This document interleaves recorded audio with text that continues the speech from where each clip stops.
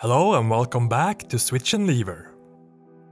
I'm sure I'm not alone in having some precious objects around me which I wish I had more of. If only there was a way to copy physical objects in a similar way to sticking it into a copy machine and hitting print. Surprisingly, it may not be terribly much more complicated than that. In this video, we will go through the steps involved with scanning a physical object all the way through holding the copy of it in our hands. So let's get going. Comparing copying something flat, like a photo, through a regular copy machine and copying a physical object is fairly similar. You first have to scan the object you wish to copy, and then secondly you need to print it out. First step is scanning. Various technologies to do 3D scanning have been around for quite some time, but unfortunately most technologies for highly accurate 3D scanning are very expensive and require highly specialized tools. I have used a couple of these methods in the past when scanning my own head, something which I used to CNC mill my own coin in a previous video on this channel, as well as done other fun stuff with. Fortunately for us, there have been great advances made in methods which require no specialized equipment beyond a decent camera. In this video I will focus on copying two objects, one small, a ring, and one larger, a mannequin head, each with their own challenges. The first and coincidentally free method, as long as you have a camera, is photogrammetry.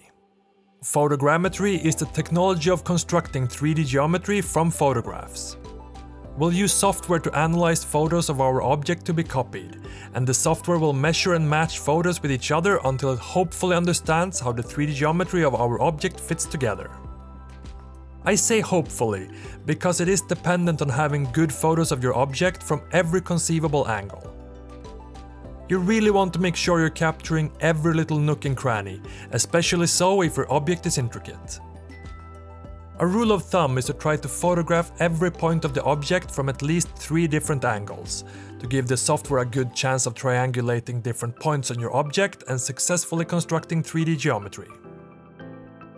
Photogrammetry works great on slightly bigger objects, like this mannequin head, but it can be used on a much larger scale as well. When you're taking your photos, there are some important things to consider. Work in good even lighting, Shoot with a smaller aperture on your camera so you get crisper photos due to less blur from the depth of field. Needless to say, make sure that your photos are in focus. Avoid reflective objects as reflections will vary depending on the angle you take your photo.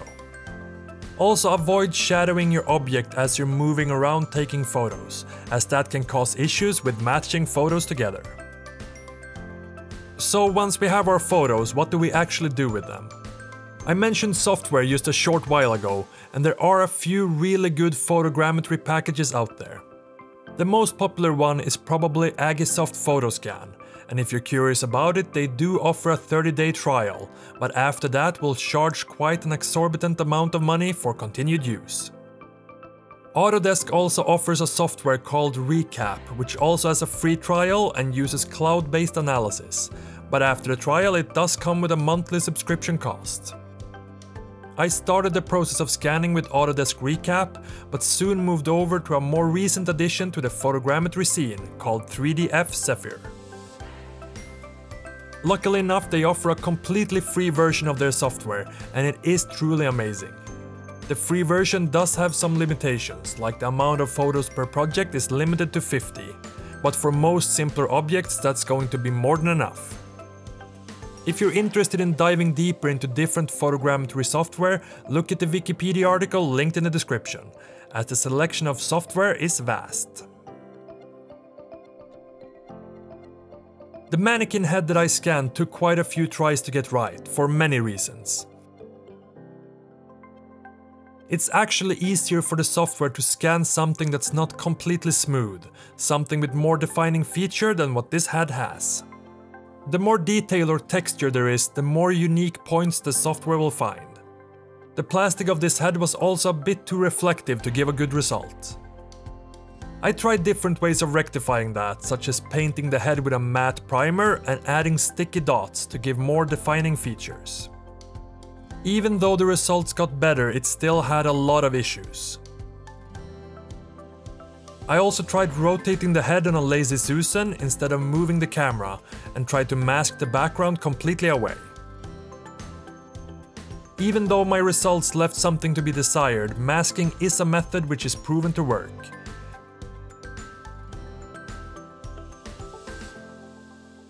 Check out Niels Provos's recent video on copying an antique axe head where he successfully uses this method. The full video is linked in the description.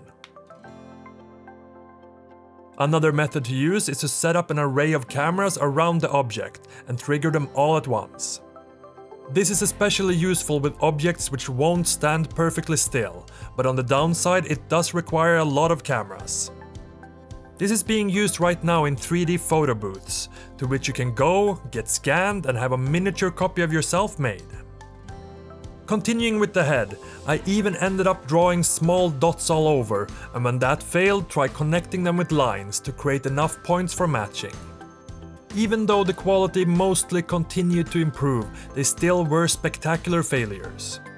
In some ways the failures are more interesting than the final result, and you could definitely use these failed scanned for artistic purposes if you were so inclined.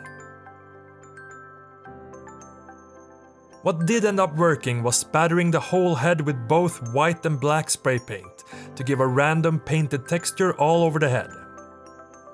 The results also started getting a lot better once I switched over to using 3DF Zephyr.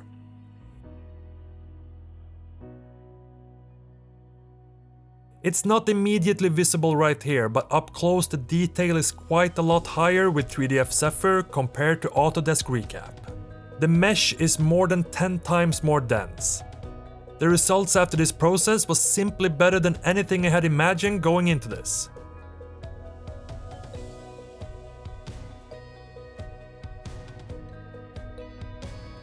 3DF Zephyr also has a fairly easy learning curve.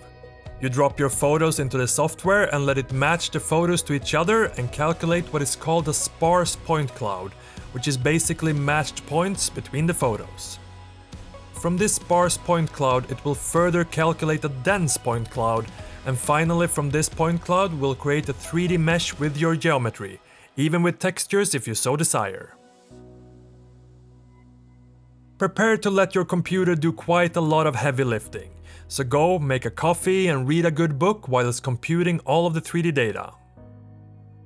I'm not going to go into all the little details of how to use the program, but a healthy dose of experimenting ought to set you on the right path.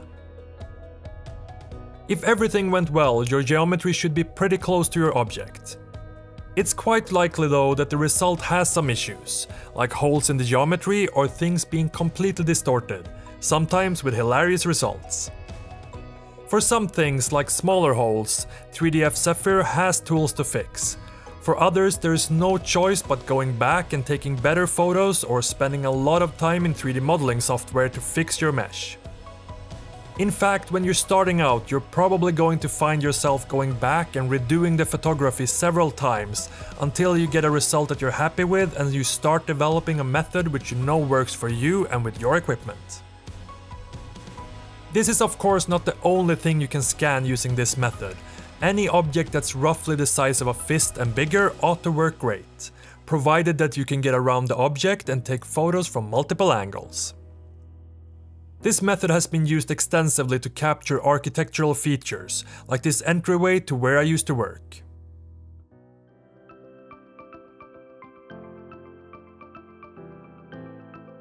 Or this stone step with every little detail caught.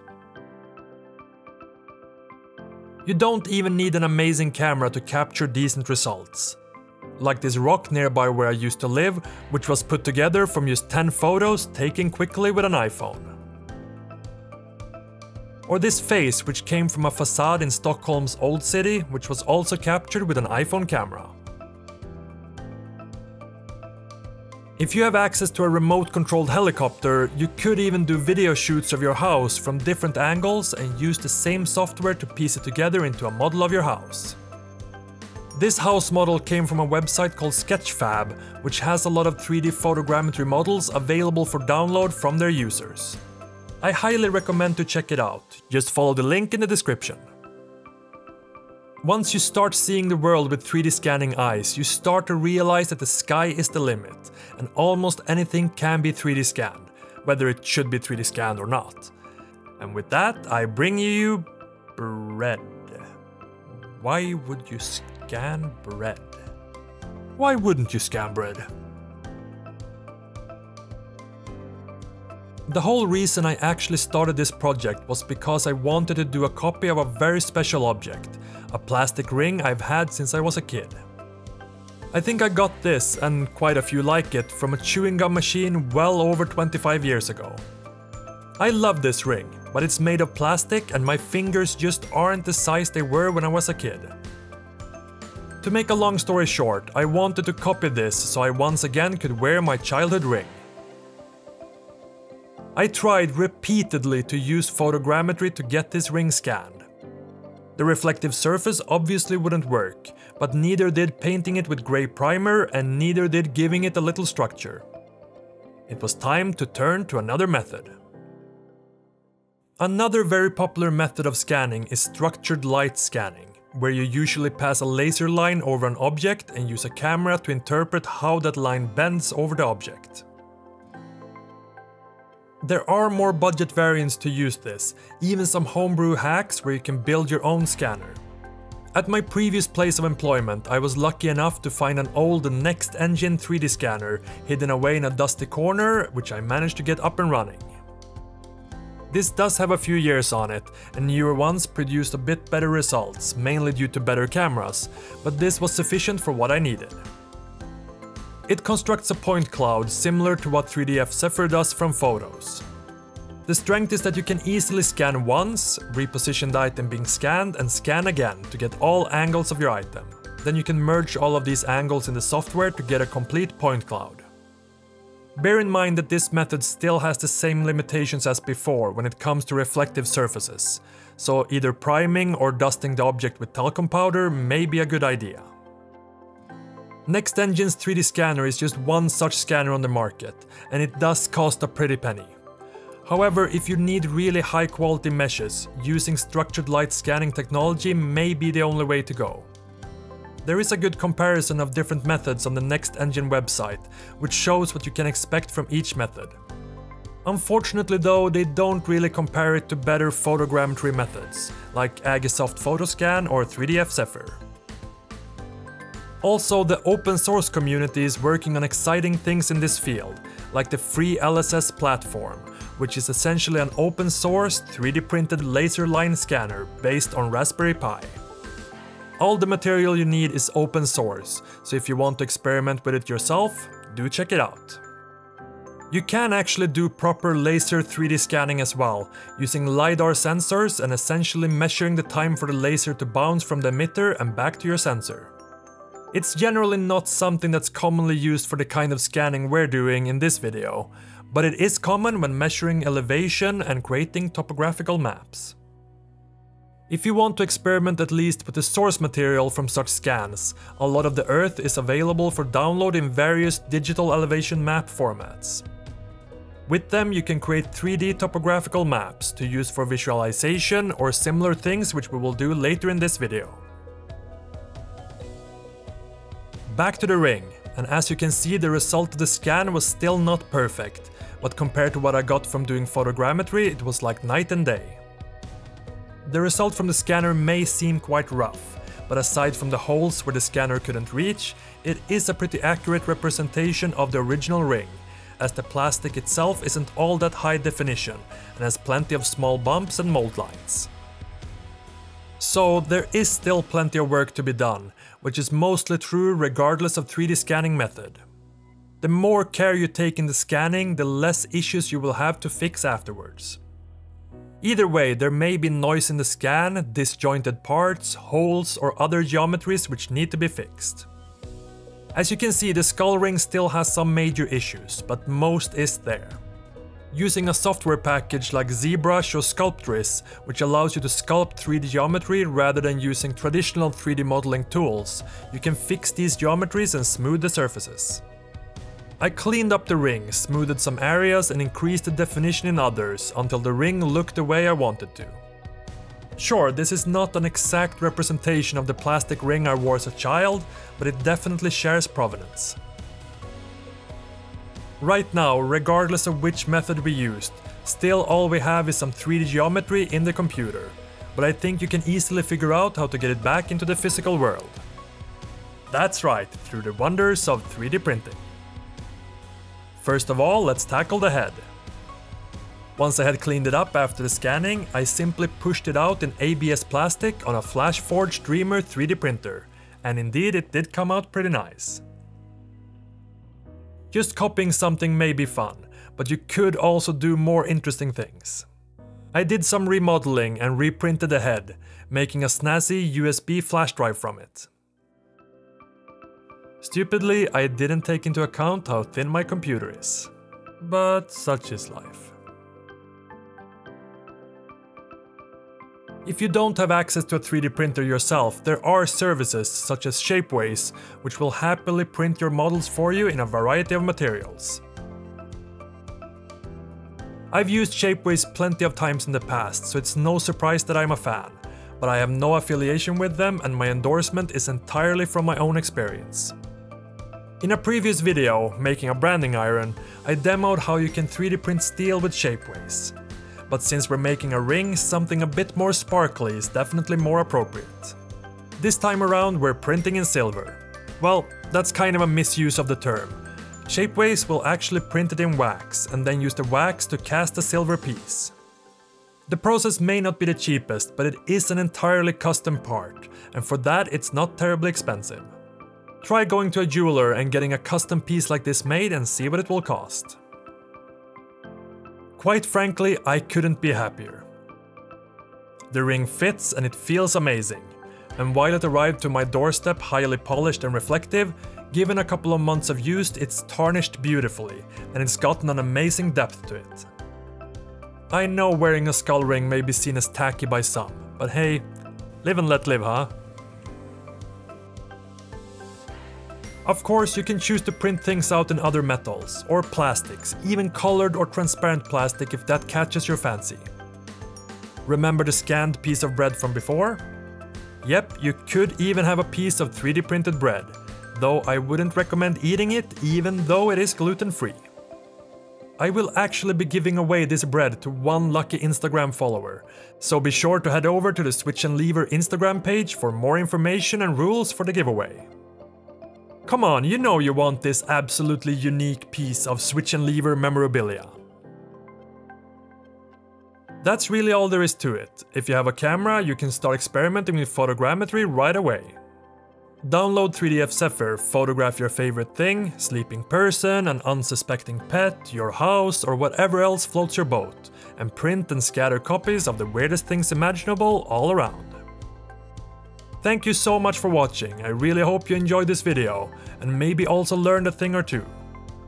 Even so, there are plenty of other videos on this channel, why don't you give one or 38 of them a look? Remember to head over to Instagram and enter the raffle for the 3D printed bread. You could be the lucky winner.